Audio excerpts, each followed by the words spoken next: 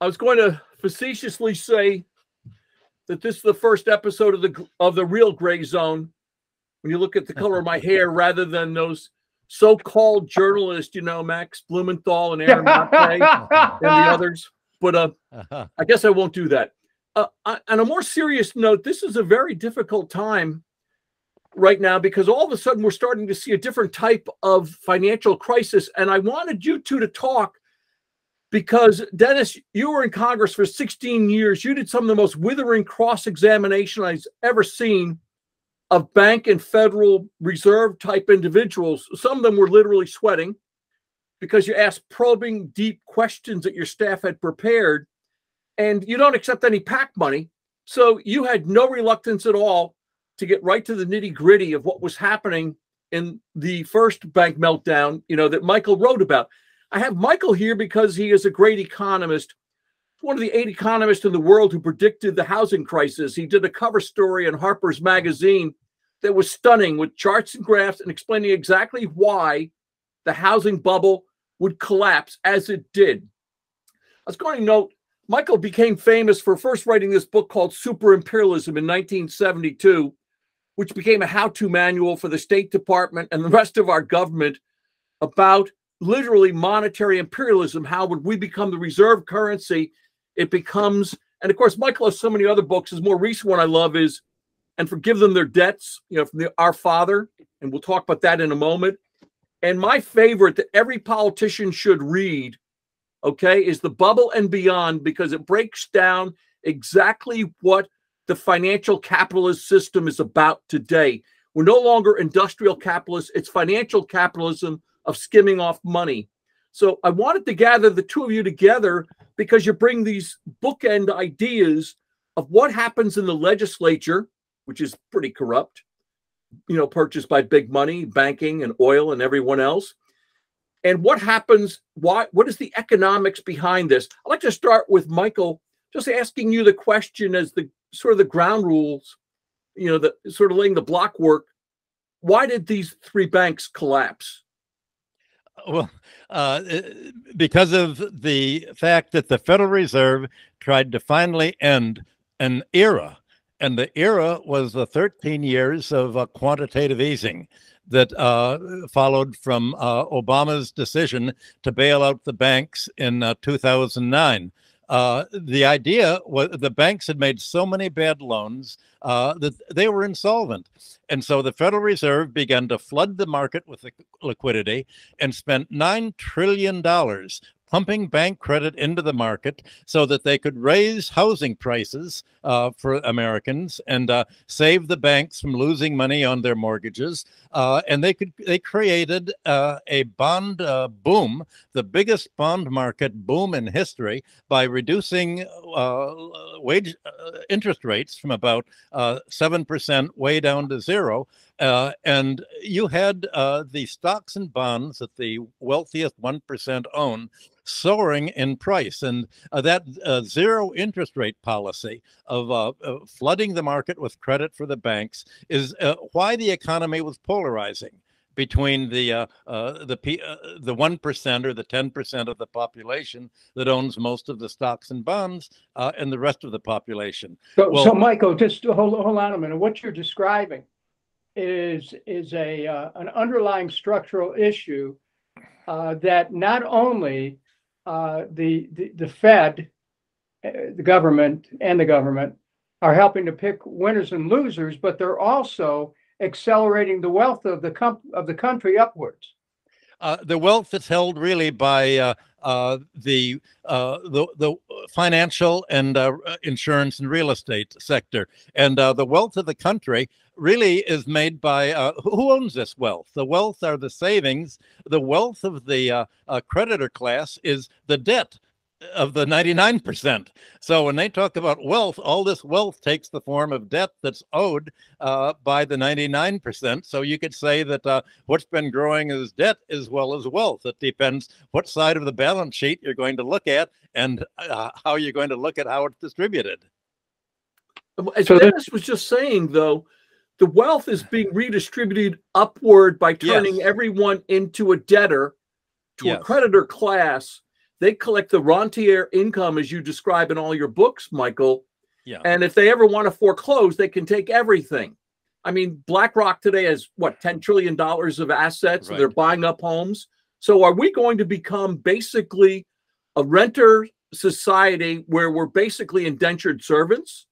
Well, BlackRock uh, began by buying up uh, homes of the eight or nine million people that uh, Obama evicted from their houses by breaking his promise to write down uh, the junk mortgage loans to realistic market prices. And instead of writing down the loans, uh, he invited his uh, uh bankers and campaign contributors to the White House and said, I'm the only guy protecting you from uh, the mob with the pitchforks, namely uh, mainly the black and Hispanic populations that had uh, voted for him. And uh, so he left the bad loans on the book, uh, evicted uh, the families. their properties were bought up largely by absentee landlord private capital firms and by BlackRock and companies like that. Well, let's back let's yeah. back up a little bit on that, Michael, because you know, as chairman of the domestic policy subcommittee, uh, during uh, the um, in the wake of the subprime meltdown, what we found out is that uh, banks were going into neighborhoods in the in the African American community, and uh, with no doc, low doc loans that enabled people to get to get a better home, in some cases the home of their dreams, uh, without giving people a fair chance to see if they could actually afford it. And then, of course, uh, they booked those loans and then they bundled them into uh, collateralized uh, debt obligations. And then, furthermore, Wall Street turned that into derivatives, pyramided the market, the thing collapses. There's a call on the loans, people can't pay, defaults are going on all over the country. Cleveland was the epicenter of the subprime meltdown, especially in, in the black community. And all of a sudden, the wealth that people had embedded in their homes, they lost them uh, whole neighborhoods were, were laid waste. Uh, they were stripped of their uh, value in terms of, you know, uh, pipes and copper and anything that, that uh, ghouls could carry away. Uh, then, then came scavengers who went into the neighborhoods, bought the bought the homes at a the shells at a rock bottom, made some minor repairs to and flipped them to create another opportunity and still more victims. So what's happened is the the the uh, financial community and the financialization of our economy, focusing on on on where the wealth that Ameri- most Americans have in their homes, has been able to suck that money out and and financialize it, turning the whole country and Wall Street into one great casino.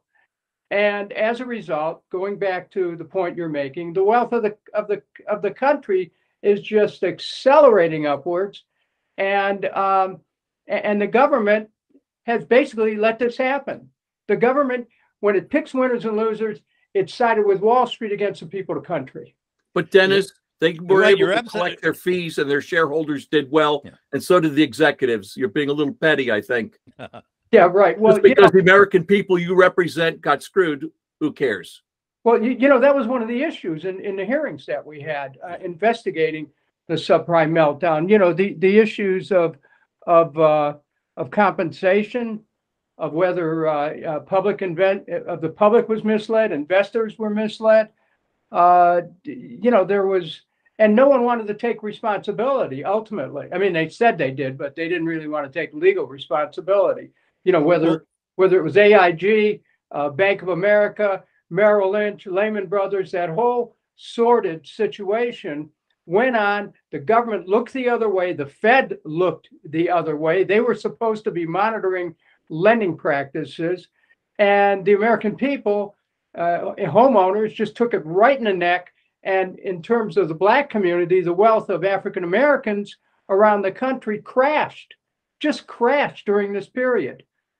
Well, that's exactly what happened. And uh, as you just pointed out, not only uh, uh, the black Americans, but for uh, 13 years, the entire economy has been polarizing and the, the well, all the, the growth in uh, wealth, there's been a huge inflation, the largest inflation in American history. And it hasn't been price inflation. It hasn't been consumer price inflation. It's asset price inflation for stocks and bonds and real estate. And uh, the government says, well, look at how rich, much richer Americans are getting. They can afford their homes are worth more and more and more. But all of this home uh, pricing has been uh, financed by debt, and so the, the, homeowners who are taking out mortgages to buy the homes own a smaller and smaller and smaller proportion uh, of their home uh, in equity. It's almost all debt.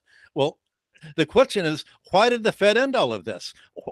Here, here you have the economy's polarizing, great for the political campaign contributors. Why did it end it? Well, it ended it because uh, uh, Federal Reserve Chairman Powell said uh, there, there's a problem. Two million Americans have to lose their job in order to create enough unemployment so that wage levels are not going to go up and uh, they will not uh, uh, uh, rise in keeping with the inflation of uh, oil prices and home prices uh, and food prices that result from America's sanctions against Russia that have raised prices all over the world and from the monopoly pricing. So the, the Fed said we have to raise the interest rates in order to bring on a recession, lower wage levels, and it didn't seemed to have occurred to him that in uh, uh, not, you're not only going to lower wage rates, but uh, when interest rates go up, bond prices go down. And Would you uh, explain, Michael, one down. second. Would you explain the two major points you just made? And one was about monopoly prices. And the fact is that there was corporate gouging of profits from monopolies was one of the key, and also the supply chain problems that occurred because of the Ukraine war, okay, and explain how those are actually a larger factor. And they're doing it on the back of American workers. They're going to, quote, stem this problem on the back of American workers by driving up inflation. I thought Elizabeth Warren was very good in hearings actually last week on that. Well, she was attacking the uh, monopolists. Let's look at food prices, uh, where you can all follow when you go to the store. Uh, the the the food prices for eggs and uh, uh, other fo- uh, crops are going way up, but the farmers aren't getting more. The dairy farmers are going out of business. The chicken farmers are going out of business. There are a couple of monopolies for the food distribution uh, business. Uh, and uh, these monopolies have simply uh, taken uh, a much uh, larger chunk of the prices that they supply to the stores. and right across the board, the pharmaceutical companies have a monopoly. And they say, we're going to raise the prices for our drugs because we anticipate there's going to be an inflation. And right down the line for almost every proper, every kind of product that uh, is a monopoly, the monopolist said, well, uh, the Fed says there's going to be an inflation. We're going to raise our prices now. And the prices have been risen without any of their costs rising uh, just because they can do it. Uh, look, and, uh, look at look at the compounding issues here. So President President Biden makes the decision to pour over 140 billion dollars plus into this uh, enterprise trying to trying to overthrow Russia. That, of course, and and the blowing up of Nord Stream pipeline set the stage for a sharp increase in energy prices, which also set the stage for a sharp increase in food prices.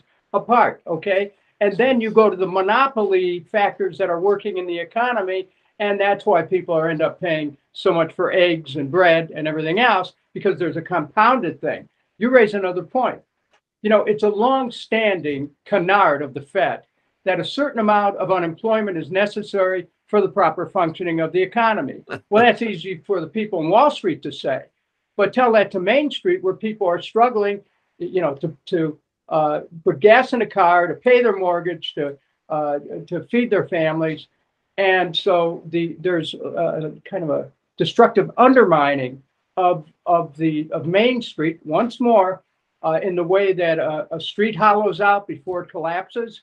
But the hollowing out of of, uh, of the equity, as you mentioned, that people have in their homes, the hollowing out of savings, the hollowing out of pensions. All of this sets the stage for, for a financial collapse. And the money that was pumped in uh, during the um, COVID period uh, actually belied the fact that people were just, you know, then were desperate. And now, as that period seems to be over, they're going to be more desperate. As a matter of fact, as we're speaking, the government's getting ready to cut in half the food benefits that people had with the supplementary uh, nutrition uh, benefits. So people won't be able to have the food they needed. Meanwhile, back on Wall Street, uh, you know, you uh, you screw up the management of a bank. Uh, you, you, don't have uh, proper accounting standards. Uh, you have inadequate due diligence. You have a lack of regs. There's changes in the law. Uh, the Fed's going uh, policies are working against the country, and Main Street gets hit once again. I, I really think that we have the preconditions here for a political revolt in this country. Uh, I want to introduce something, Dennis. You wrote a 696 page book called The Division of Light and Power you know, which occurred when you basically saved the Cleveland municipal light system from its corporate competitor, which basically used what is now seen as illegal means to buy it out and destroy any competition. By the way, this competitor recently has uh, put $60 million into bribing Ohio officials. That's a whole other matter. You stood up against them uh, because you did not take any PAC money from these groups. Can you explain to me, and I'd like both of you to comment on this, is this contagion and this reluctance of Congress to deal with this issues of the banks and the in, the incredibly dark, dark influence of dark money going to spread? Is the bank contagion going to spread, Michael? And how much worse is going to have to get, Dennis, before people recognize the utility bills, all the debt they are incurring will cause a debt deflation as the middle class evaporates and doesn't buy products. Well, I want to comment on what Dennis just was saying because uh, I want to follow up uh, the logic. He pointed out uh, that the uh, savings were being eroded by uh, workers, not only their own savings, but that of their pension funds. Because when you wind down interest rates, uh, pension funds uh, uh, had corporations set aside uh, a given amount of money, or uh, states and municipalities to set aside a, a given amount to pay uh, the workers. And they almost all assumed that they were going to be able to make 8.5% a year. but now that interest rates went down to about 0.2% on government government bonds, all of the pensions in this country were uh, pushed into deficit. So, uh, who is going to rescue them? Well, you've just seen uh, the Fed rescue uninsured bank depositors, saying no uh, wealthy bank depositor will, even though they're not insured, no one will lose a penny. Uh, but the pension funds are going to lose as much as they uh, as much as they, they have the savers are going to lose. And by the way, the student debtors are going to have to pay their debts. The only debts that do not have to be paid are the debts owed by the wealthiest 1 to 10%. The rest of the 99% have to pay their debts. I think that's what Dennis was uh, pointing to. You're, you're, and thank you for mentioning that because you know what you have here is a clear example of the um, of the socialization of risk that that goes on. And, uh, you know, this is where capitalism, uh, the underlying um, um, challenge to the, to the system of capitalism is that there's a number of myths that support it. And, and one of the myths is that uh, uh we all benefit from competition, uh, that people are on their own to go up and down by their own merits. Well, we have a massive moral hazard here that's been visited upon the country. And, and it needs to be uh, addressed directly, uh, lest the country itself fail. And you know, there, there are deeper issues here uh, that uh, have to do with monetary policy itself. Uh, you know, we most people are not aware uh, that in 1913 the money supply of America was privatized with the passage of the Federal Reserve Act. It's not a coincidence that the government created uh, uh, almost simultaneously the federal income tax. So that uh, instead of government issuing the money to meet the needs of the country, uh, government started borrowing money from banks. So the government goes into debt. It's a our whole system's been turned upside down uh, by uh, and and and a corollary today is regulatory capture. You have all these agencies that cannot enforce the law because they're held uh, captive by these financial interests, either through the executive branch or the legislative branch. And David, to answer your question directly, uh, Citizens United case, Buckley versus Valeo, the idea of And uh, speech now. speech. We're we're right now in an era where we're seeing that the door was open for the corporatization of the of the entire government, um, and uh, because these these corporations essentially have a hammerlock on uh, on government policy because they can pour unlimited amounts of money uh, through through these uh, dark money PACs into campaigns and totally upend uh, the political fortunes of those who are either executing the laws or making them. Well, Dennis, you just said uh, uh, two uh, key words. One is the lack of competition, and the other is banking. And I should have said that the banking is uh, the most powerful monopoly uh, in the country. Uh, let's look at what the banks have been paying depositors. Uh, even though interest rates have been going way up, banks have only been paying depositors 0.2% on their deposits. Well, the reason that the banks uh, that uh, Silicon Valley Bank went under and the reason other banks are going under is that uh, th- they're, the banks are greedy. They, uh, they're making a killing on higher interest rates. Uh, they're raising the prices that they charge people uh, for mortgage loans, for bank loans, for credit card loans, but they're not uh, giving the depositors anything more. So the uh, if you're a depositor who have enough money to uh, you uh, have a retirement fund or your own money, you're going to pull your money out of the bank, and instead of holding money in a bank at 0.2 percent, you're going to buy a, a short-term treasury bond at uh, uh, treasury note at uh, four percent interest, and that's exactly what was happening last uh, Thursday and Friday. That's what caused the run. People, uh, uh, not only for Silicon Valley Bank, but for the entire country. Uh, Americans have been pulling their money out of the banks because the banks don't pay interest. Uh, you want to get something that does pay interest, and you don't want to uh, speculate in the stock market because that's going down. So uh, you bought you buy bonds, and that's why yesterday, uh, or actually on Monday, uh, Moody's came out and downgraded the entire banking system as being uh, no longer uh, uh, really uh, uh, viable uh, because the banks have gotten so they've used their monopoly power to shoot themselves in the own foot and be so greedy that uh, that they really don't play a productive function. And So you- of course, yeah. Yeah. You want to talk about how how things have changed. I mean, there was a time when the banks were actually uh, dictating rating standards uh, to to the Wall Street ratings agencies on behalf of certain clients. Uh, the, the the other thing is, in the wake of of the collapse of these three banks, uh, I think it's time to have a whole uh, series of questions about uh, what what were those banks' capital standards? What were their liquidity standards? What were their leverage standards? Because it's, it becomes very clear when you see uh, what appears to be a, a quick collapse was the result of, of practices that these banks were able to get away with uh, because no one was looking over their shoulder and they were basically uh, the uh, banking equivalent of honor park.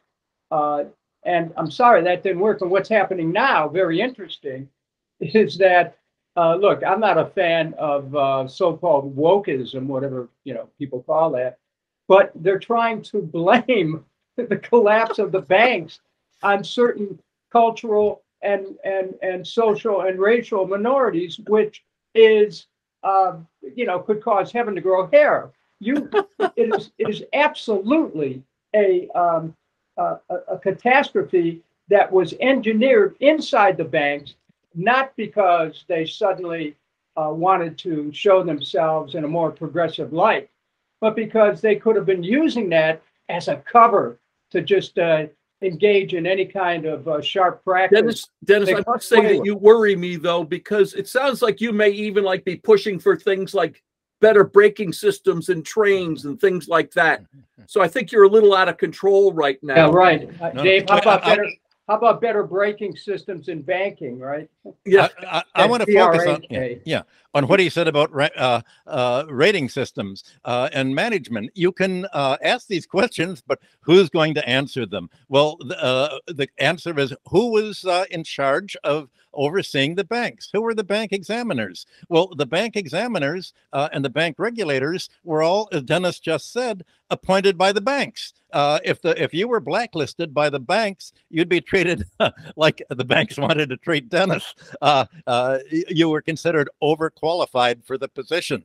Uh, the banks uh, wanted examiners who would treat them as their clients, who's, who thought that, well, we're here as the Federal Reserve examiner or the Federal Home Loan Bank examiner uh, to really uh, help the banks uh, get by. We're their protectors, we're their guardians. And uh, there, uh, one of the problems is that there are many bank regulatory agencies, and banks not banks get to choose the regulatory agency that governed them. And uh, the Silicon Valley Bank chose the Federal Home Loan Bank Board, which is what, uh, if, if you're going to stretch the envelope, if you're going to do something that is wildly risky, you want the Federal Home Loan Bank Board to be your examiner because they they were the people who didn't see the uh, savings and loan crisis of the 1980s. Uh, they were the most uh, corrupt uh, pro banker. Uh, the the customer is always right. Examiners there were, and the funny thing is that Silicon Valley Bank didn't doesn't make home loans. It made big loans to the uh, high tech industries uh, and also to uh, the governor of California, Newsom, and his uh, winery. Uh, he kept his uh, uh, money money there, but uh, th- they don't make uh, uh, home loans. But any bank can choose the home loan bank examiner board be- precisely because they they qualify for believing that whatever the banks decide to do must be reasonable. Michael, I want to just cut in a little bit and point out, Dennis, in the lead up to the Iraq war, you spoke on the floor of Congress 341 times about Iraq, and you saw no evidence. You spoke 155 times on Iran, and one great uh, advertising person put it, you had the eyes that saw through the lies. Okay. What are the lies you're seeing today around banking and Nord Stream and these other things. I may just veer off a little bit, but you've been confronting some of these egregious misstatements. Well, it begin it begins with. Um, uh, let me talk about this conceptually. Uh, we have a breakdown in trust in society, which is affecting everything. Uh, people putting their money in banks is a matter of trust. What banks do with that money will either confirm or undermine the trust that people have in the banks government has to play a role in making sure that people's assets are going to be protected from any sharp practices. I mean, those are those are what we hope will happen. But what we have found out in the past, and what we're finding out again, is that government does not perform its uh, role as a uh, as a protector of the public interest.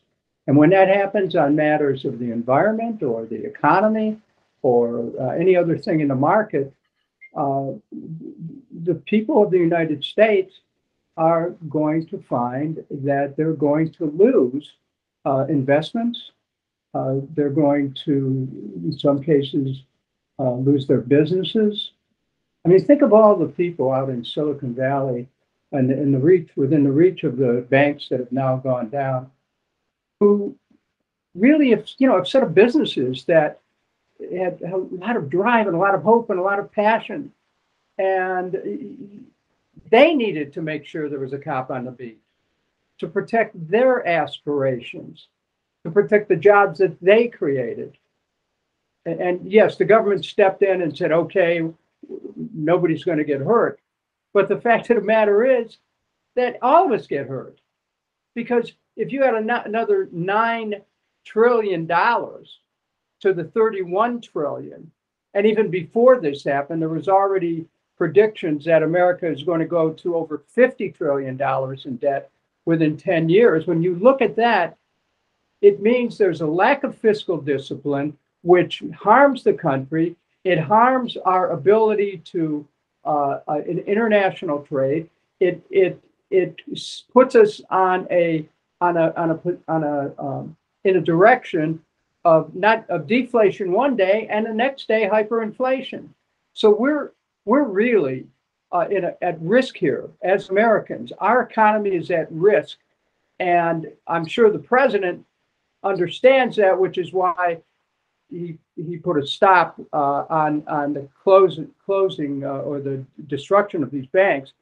The fact of the matter is, uh, we're not de- dealing with the underlying uh, causes here. This is a You you this you is a raised an issue of Hold on, trust, and I wanted a to ask Mike.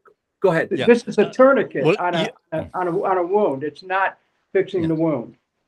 Well, you understand this, Dennis. I'm not because we've spoken about uh, deindustrialization for uh, 20 years. Uh, uh, what you've described is exactly that America's deindustrializing. If Americans have to pay such high prices for their homes, if they have to go so deeply into debt just to have a place to live or to rent, if they have to borrow from the banks and run into credit card debt in order to uh, just meet uh, meet their basic needs, how they're going to have to earn so much money that it prices uh, American industry out of world markets. That's why uh, American indus- uh, uh, companies have all moved abroad. They can't afford to pay American labor when American labor's living costs have to be paid to the financial sector and the real estate sector, which is part of the financial sector that uh, uh, you you've just been describing. That's the real problem. The banks are uh, responsible for deindustrializing the country,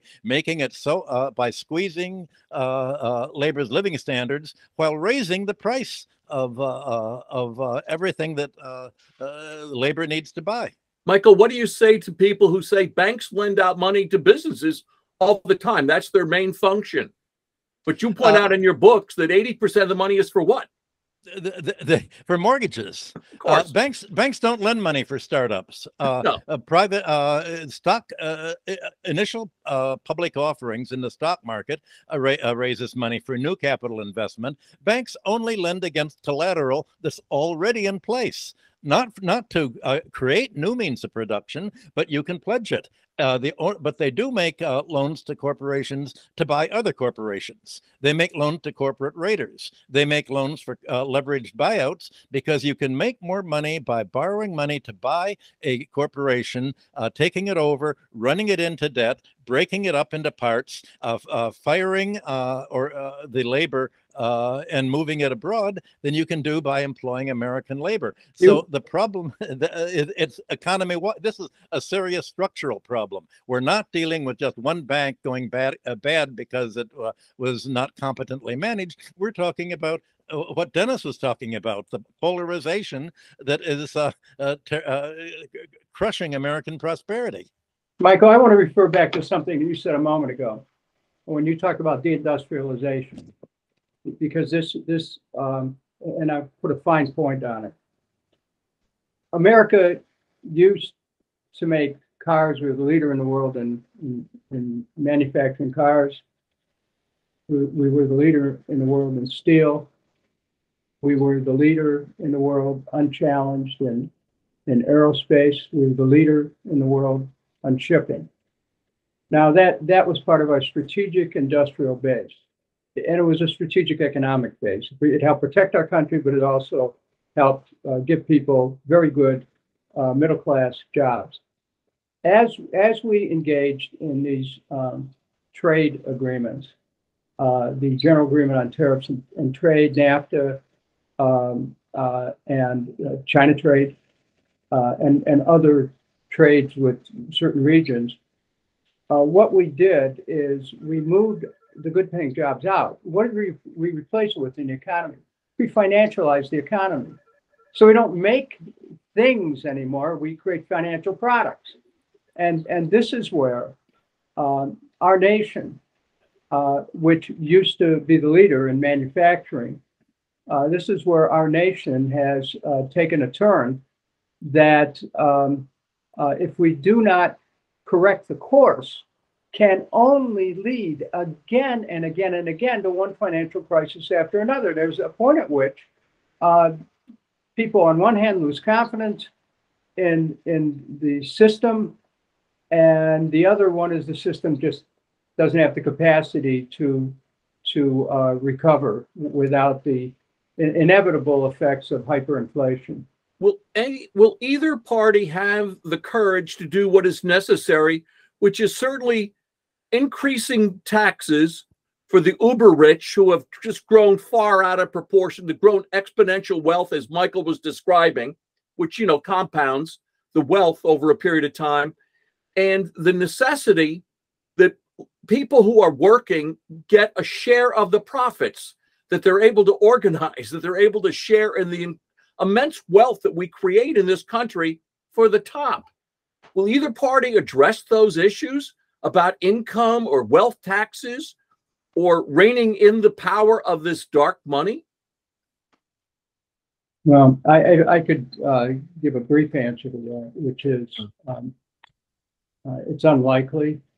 Uh, we're not looking at a Rooseveltian period here where um, uh, the uh, those who were I find it I find it stunning. Quick tangent that uh, you know I find both parties with huge lackings in different ways. I was stunned when my party, I'm a Democrat, when my party attacked, you know, somebody who writes books like Griftopia about the Wall Street collapse and Matt Taibbi, calling him a so-called journalist, which I was joking about before, who had the courage to actually write. Or they also go after Glenn Greenwald, who wrote one of the great books, you know, with liberty and justice for some, just a couple. But uh, you know, uh, uh, uh, you know, you, you saw how they went after Brand, you know, the comedian. Uh, it- it's just sort of stunning to me that where is their patriotism rather than their party? When does patriotism and concern for the people that elected them come in, Dennis? Well, when the when the when the people are hurting enough, when they're ready to uh, to basically say, look, um, this is a uni party moment, and the party isn't, you know, the parties aren't working for us.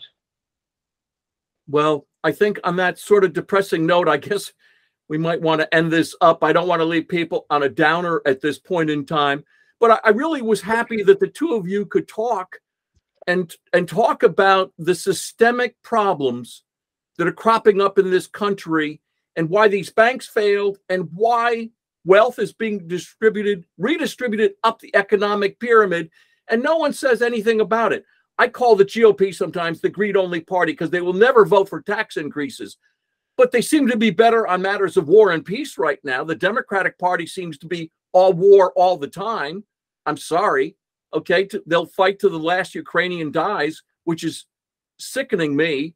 I have four children, and I think about how, how the, the grief that never goes away as your society and your families are torn asunder. So, any last thoughts from either of you? Michael, Uh, well, it's very striking that the Republicans are seeing uh, uh, that the war is uh, wrecking the whole economy. Uh, uh, Dennis talked about how the steel industry can uh, uh get going again. Well, it got going by blowing up the uh, gas pipeline, and without gas and Russian oil, uh, you can't make steel in Germany anymore. So the the war of, really is not only turned out not to be only against fighting to the last Ukrainians. It's making Europe broke, pushing Europe into a chronic, long-term depression, and uh, and really break ending uh, German uh, industry. And uh, uh, America says, well, why don't you move your steel-making companies to the United States, where we have uh, cheap gas and oil? And now that you have to pay six times as much for energy and Energy is really what you make GDP out of. So America's strategy in the world is saying, well, we realize that we're losing uh, uh, com- competition to China and Asia and India uh, and uh, the whole rest of the world, but at least we can lock in our control of Europe. uh, and we can make money off uh, Europe, Canada, and Australia, uh, uh, and at least we can keep uh, going there by essentially acting as a- rentier. And it's uh, the result is uh, something that at a certain point it's driving other countries uh, away. And I don't think there's any truth at all that uh, Biden is a, uh, in, uh, working for the Chinese government as a paid agent. I think that's just a, a vicious rumor. But what he's done is force uh, by the sanctions on Russia, he's forced Russia to give China energy at uh, much lower prices than anywhere else in the world. Uh, the effect of Biden's strategy is to enormously increase Chinese competition and uh, Iranian competition and Asian competition against the United Uh-huh. States. Uh, it, it's it's ironic, and uh, the sanctions against Russia have made Russia decide, okay, we're going to become autonomous and independent. You know, what I, what I would like to do is to uh, conclude this with the idea that perhaps we can um, go deeper into this discussion in, uh, in a future conversation uh, with respect to, uh, number one, how America's uh, international policies, specifically with respect to war and the building up of, of, of a massive armament, undermines us here at home. That's number one. Number two is uh, how America's insistence on the unipolar m- moment has, as you alluded, Michael, uh, driven other nations together in in economic alliances that I believe inevitably will uh, will lead to the decline of the dollar and will create circumstances where the American economy is going to lose the elasticity it's had over the last 50 years as a result of the dollar's uh, uh, primacy. So maybe we could get into that in, uh, in the future. I want to thank uh, uh, Dave Kelley for uh, convening this and moderating this discussion. And Michael, it's good to see you again. Uh, let's get together again. Thank you very much for the input, gentlemen. I hope Thank you. Thank you. Forward to it. Right. Bye.